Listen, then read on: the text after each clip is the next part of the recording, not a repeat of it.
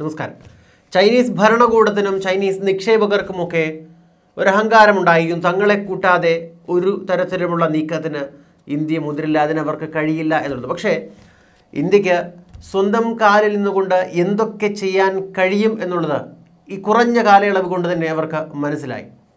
അക്ഷരാർത്ഥത്തിൽ ഇന്ത്യയെ ലക്ഷ്യം വെച്ചുകൊണ്ട് അവർ പടുത്തുയർത്തിയ സ്വപ്നങ്ങളെല്ലാം തകർന്നടിഞ്ഞു വീഴുകയാണ്. പക്ഷേ ഇന്ത്യ കുതിച്ചുയർന്നുകൊണ്ടിരിക്കുകയാണ്.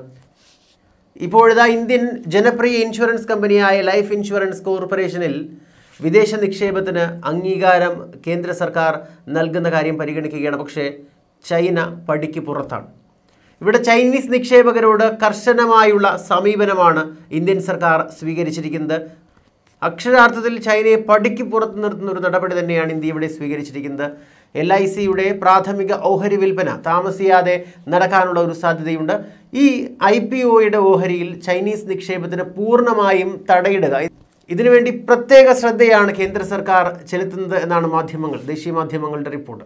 രാജ്യത്തെ ഏറ്റവും വലിയ ഇൻഷുറൻസ് കമ്പനിയാണ് എൽ ഐ സി എന്നുള്ളത്. ഇന്ത്യയിലെ ലൈഫ് ഇൻഷുറൻസ് വിപണിയുടെ അറുപത് ശതമാനത്തിലധികവും എൽ ഐ സിയുടെ കയ്യിലാണുള്ളത്. ഇതിന്റെ ആസ്തി ഏകദേശം അഞ്ഞൂറ് ബില്യൺ ഡോളറാണ് എൽ ഐ സിയുടെ ഐ പി ഒയുടെ വലിപ്പം എന്നുള്ളത് പന്ത്രണ്ട് ദശാംശം രണ്ട് ബില്യൺ ഡോളറാണ് എന്നാണ് പറയപ്പെടുന്നത്. ഇത് രാജ്യത്തെ ഇതുവരെയുള്ള ഏറ്റവും വലിയ ഐ പി ഒ ആകാനും സാധ്യതയുണ്ട്. എന്നാൽ ഇരു രാജ്യങ്ങളും തമ്മിൽ സംഘർഷം നിലനിൽക്കുന്ന സാഹചര്യത്തിൽ ചൈനീസ് നിക്ഷേപകർക്ക് ഇവിടെ ഒരു തരത്തിലുള്ള ഇടപെടലിനും അവസരം നൽകാൻ ഇന്ത്യ ആഗ്രഹിക്കുന്നില്ല. ഇന്ത്യയും ചൈനയും തമ്മിലുള്ള അതിർത്തിയിലെ സംഘർഷത്തിന് ശേഷം സ്ഥിതി വളരെയധികം ഇപ്പോൾ മാറിയിട്ടുണ്ട്. പൂർണമായും ചൈനയെ ഒരു ശത്രുപക്ഷത്ത് തന്നെ നിർത്തിക്കൊണ്ട് അവരെ ഒരു തരത്തിലും ഇന്ത്യയുടെ പ്രശ്നങ്ങളിൽ ഇടപെടാനോ ഇന്ത്യയുടെ സാധ്യതകളിൽ കൈകടത്താനോ ഒന്നും അനുവദിക്കാതെ വ്യാവസായിക മേഖലയിലായാലും മറ്റെന്ത് മേഖലയിലായാലും അവരെ പടിക്ക് പുറത്ത് നിർത്തുന്ന ഒരു സമീപനമാണ് ഇന്ത്യ സ്വീകരിക്കുന്നത്. ഇരു രാജ്യങ്ങളും തമ്മിലുള്ള പരസ്പര വിശ്വാസം കുറഞ്ഞതായ ഒരു സർക്കാർ ഉദ്യോഗസ്ഥൻ റോയിട്ടേഴ്സിനോട് വെളിപ്പെടുത്തുകയും ചെയ്തു. ഇപ്പോൾ പഴയതുപോലെ ബിസിനസ് ചെയ്യാൻ ബുദ്ധിമുട്ടാണ്. എൽ ഐ സി പോലുള്ള ഒരു കമ്പനിയിൽ ചൈനീസ് നിക്ഷേപം വളരെയധികം അപകട സാധ്യതയുള്ളതാണ് എൽ ഐ സിയുടെ അഞ്ച് മുതൽ പത്ത് ശതമാനം വരെ വിറ്റഴിച്ച് പണം സമാഹരിക്കാൻ സർക്കാർ ശ്രമിക്കുന്നുവെന്നത് ശ്രദ്ധേയമായ കാര്യമാണെന്നും ഉദ്യോഗസ്ഥർ അഭിപ്രായപ്പെടുന്നുണ്ട്. റിപ്പോർട്ടുകൾ പ്രകാരം ഓഹരി വിൽപ്പനയുടെ കാര്യത്തിൽ ഇതുവരെ അന്തിമ തീരുമാനമെടുത്തിട്ടില്ല.